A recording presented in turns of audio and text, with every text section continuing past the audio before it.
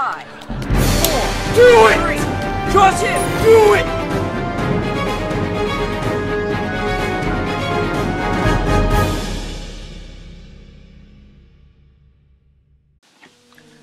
Hey, what's up, guys? It's Arlis. I'm here with another commentary video, and here today we are talking about Disney and Fortnite pulling ads due to a YouTuber called what uh, I think his name is Matt. What it is, um, or something like that.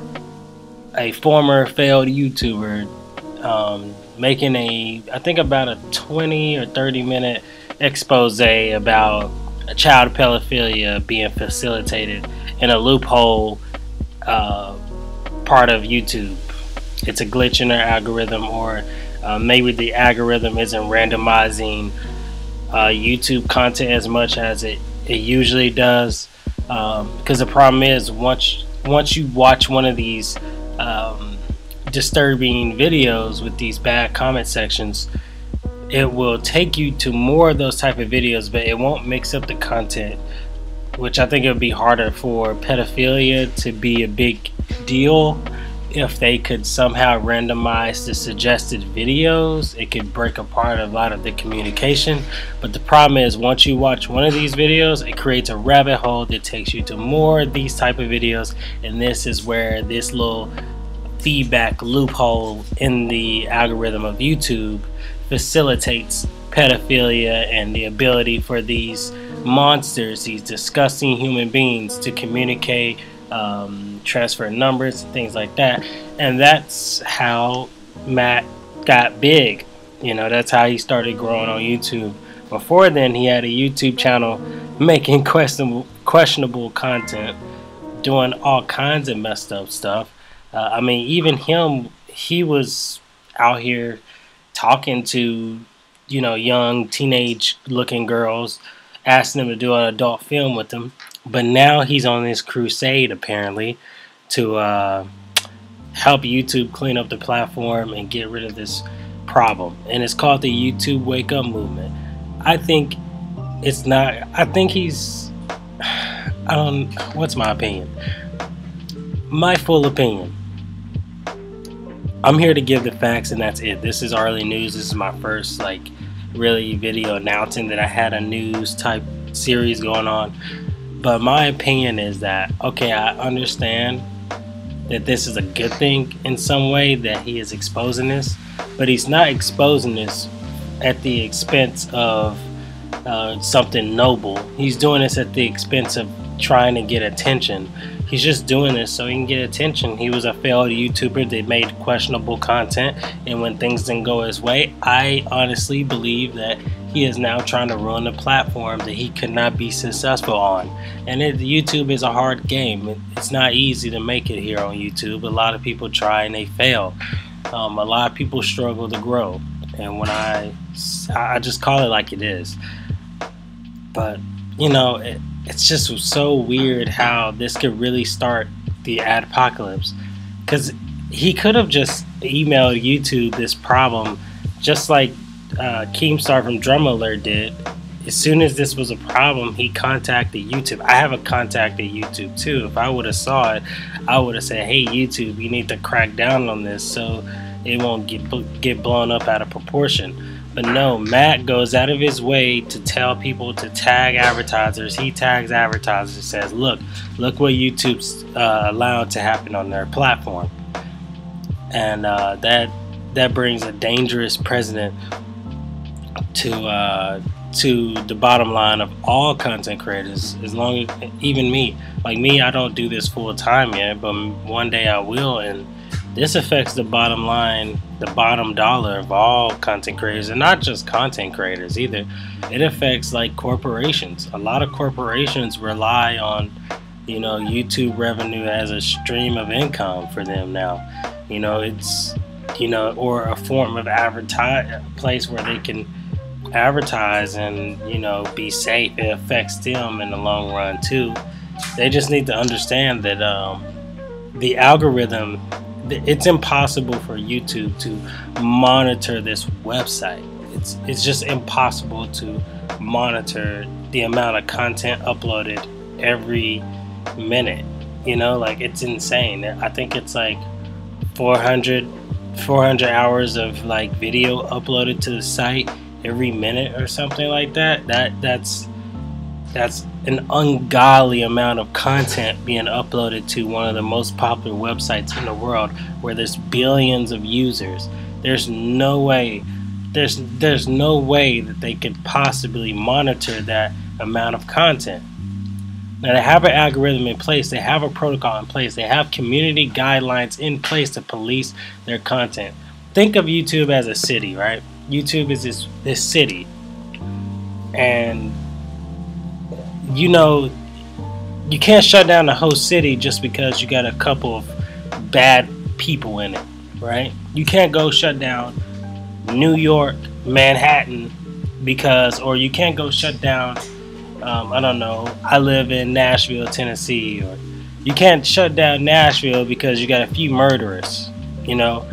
There's five more murderers out of, I don't know, a million people that live there. You can't shut it down just because of those five people.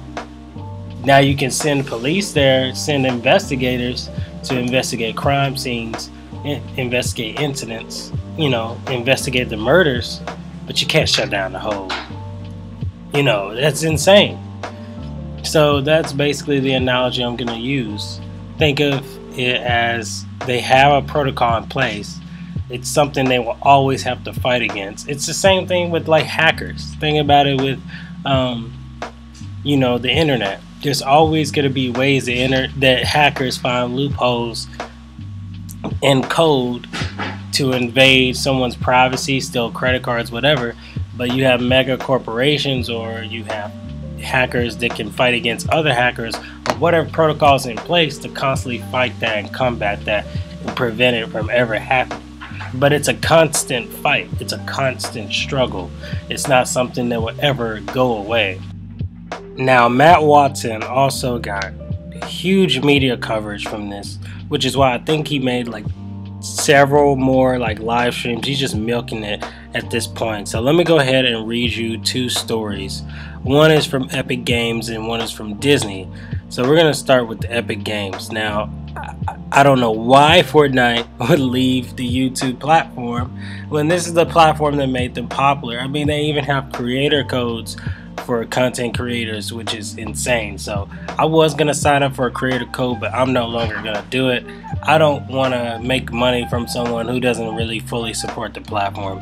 They're willing to just pull ads out of the platform just because they're scared or um, think that YouTube's bad or whatever. I don't want to support a company that does that. They use YouTube, use and abuse YouTube as a platform and its popularity than to turn around and act like this just from a small thing that YouTube has already was well, not a small thing, but a, a, big deal that YouTube has been actively working on for the past couple years, I think that's pretty shady on their part. Um, Fortnite ads have been yanked from YouTube after they featured on videos that acted like a network for pedophiles. Alright, and this article goes on to talk about what they're doing at the moment. Epic Games paused pre roll advertising on YouTube. The publisher of Fortnite suspended its pre roll ads on YouTube after it was revealed that they were being featured on videos that acted like a network for pedophiles. YouTuber Matt Watson described a wormhole in which YouTube's algorithm was recommending videos of young girls. This is usually what most platforms do. Of course, they will um, basically increase watch time by giving you more of the content you're already clicking on. So I don't know what the hell Matt Watson's talking about. The comment sections on these videos appear to be a meeting place for pedophiles who timestamp compromising moments and exchange contact details. Then again, it's not at the expense of the creator, hopefully not, or the people uploading the videos. These are just sick people timestamping moments of compromising images, you know, of young girls. So um, we will give them credit where credit is due for that. Wired also investigated the videos and found that they had been monetized with advertising for Fortnite along with other major brands.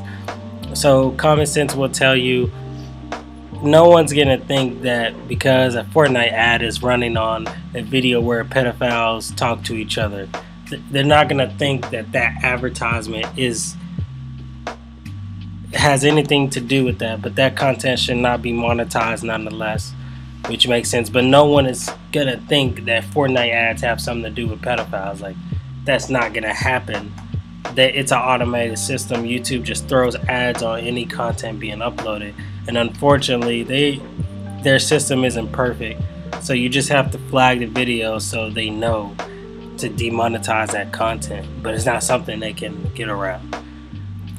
Uh, a YouTube spokesperson told Business Insider that the platform took immediate action on the videos. They've always taken immediate action. As soon as they see bad stuff, YouTube has a whole network of people who uh, flag content for the most part when they see it. This just wasn't seen yet, and I'm glad that Matt again brought this to uh, their attention. But trying to start another ad apocalypse is not the solution. Trust me. The last one almost killed me. I know because it was in January of 2008. It literally almost killed my channel. So I know a little bit about how this works. Epic Games, a publisher behind the wildly popular Battle Royale game, Fortnite suspended its pre-roll advertising on YouTube after its ads were being featured on suggestive videos of young girls. A video by YouTuber Matt Watson recently pointed out that YouTube's algorithm was prompting users down a wormhole of inappropriate content showing young girls.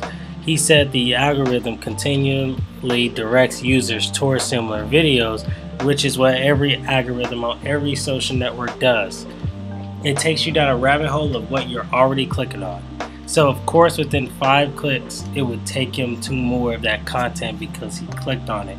So, he's not lying here. I just think that he's making a big deal out of an algorithm thing that they could have just fixed. He just, it's like sending the police there. You just need to send the police there and they take care of it. That's it. I feel like he's just doing this for attention at this point.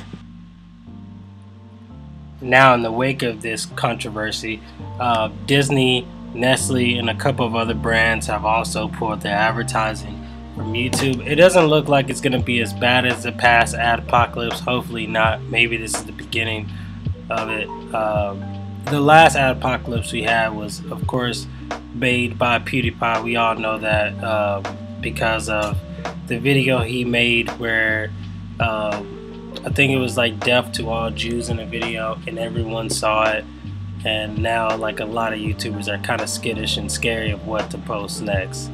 Um, but this seems like Matt just deliberately did this just to ruin people.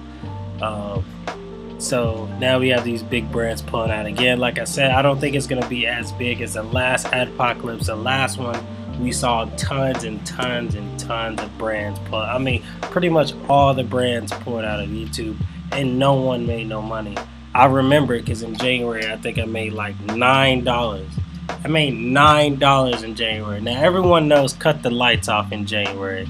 Everyone's good months are like from like March and then all the way to December, and then you should be good on money, and then January is just dead. Okay, so everyone knows that part about YouTube, but I mean, I'm telling you, it was bad. There was literally no ads all the way up till probably April of that year when the apocalypse happened. It was terrible.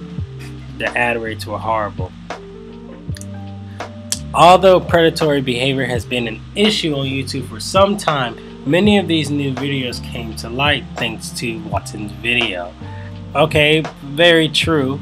But like I said, it's not like something they haven't worked on for years on end. I feel like YouTube actually has probably been working on this since the beginning when their platform started.